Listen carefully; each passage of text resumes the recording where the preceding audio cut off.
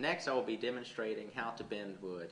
This particular type of bend is called a bent lamination, where you use multiple layers bent around a form with glue in between, clamped down. When the glue dries, it retains its shape. The first step is making your bending form. This particular bending form is made out of three layers of 3 quarter inch MDF. First, you cut your outside radius, or any shape that you want to bend to. Then you cut an inside radius, small enough to where your clamps that you'll be using can reach over your form and over your piece that you will be bending, clamping it down firmly. The first step after building your bending form is to now rip your strips. When ripping strips, you need to be aware that your strips can be pulled down into your table saw through your throat plate. Replace your throat plate with a zero clearance throat plate.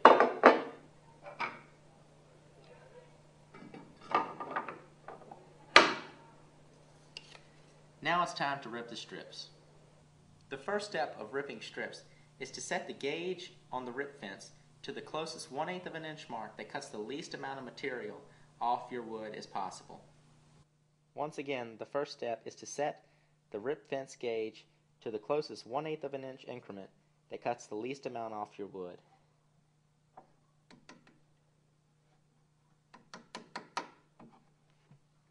Now we'll make that pass shaving off the edge of the board.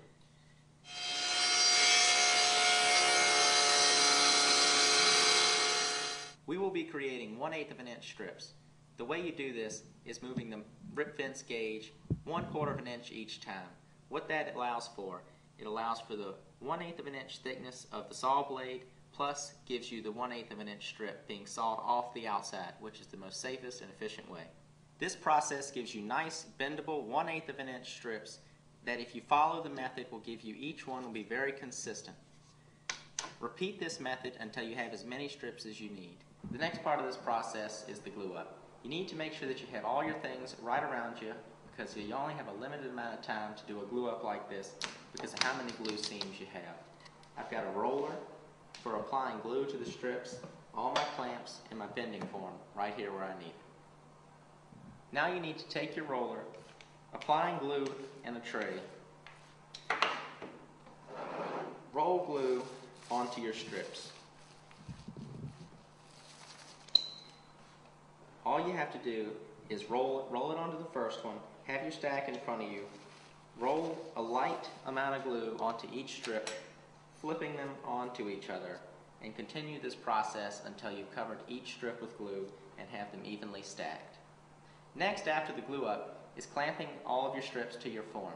Whenever possible, it's best to use a pad. In this case, you're using small scraps of MDF to act as a buffer between the clamp and your first strip. The reason for doing this is the amount of pressure that the clamps can create can make marks or dent your wood, and then sometimes if there's any glue on the surfaces, it can react with the steel, leaving dark marks on your wood. First is find the center of the strips, place it on your form, and get your first clamp in place.